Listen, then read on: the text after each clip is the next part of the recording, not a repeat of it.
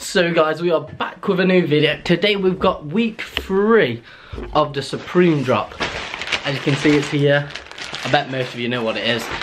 It was it's the most hyped item of the drop. Week four though, I'm sorry guys, I haven't bought anything. I might buy something else instead, like a high-end brand or something like that. Just so I'm still doing an unboxing for you guys. I do one a week, roughly. So, let's just get straight into this week three unboxing. Right, as you can see, it's just a little rip bag. Rip it open. There's the bag itself. Oh. Nothing inside, but right. There's the Supreme bag.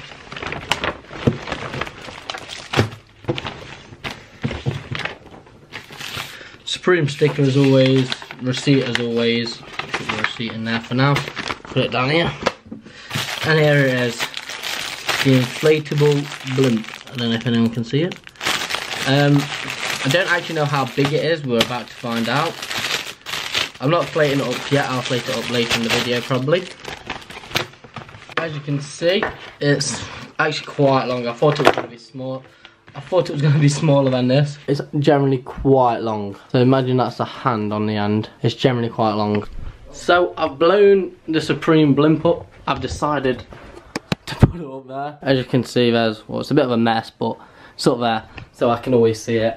So guys, that is my week three Supreme unboxing. I hope you guys have enjoyed. Can you please thumbs up? It helps me out. Don't forget to subscribe and turn notifications on. Right, roll the outro.